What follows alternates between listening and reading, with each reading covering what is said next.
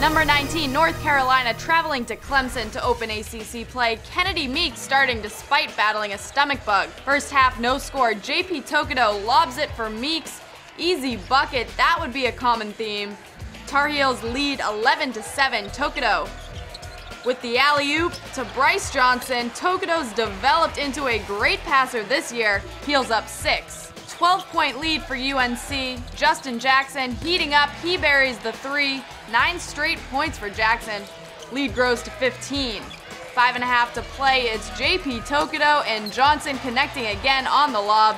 Carolina held a 22 point lead at halftime, 39 to 17. Second half play, UNC still rolling. Tokoto sharing the wealth again, this time with Marcus Paige, who knocks down the open three. Seven assists for Tokoto tonight. Tough night for Clemson, Jaron Blossomgame. With a highlight here, drive spins and hits. 13 points for Blossomgame, but Carolina was just on point.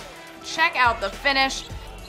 Isaiah Hicks with absolute authority. That's a must-see moment.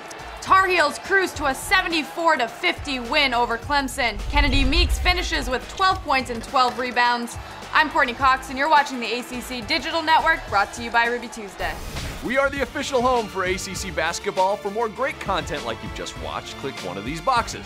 And to make sure you don't miss anything, click subscribe.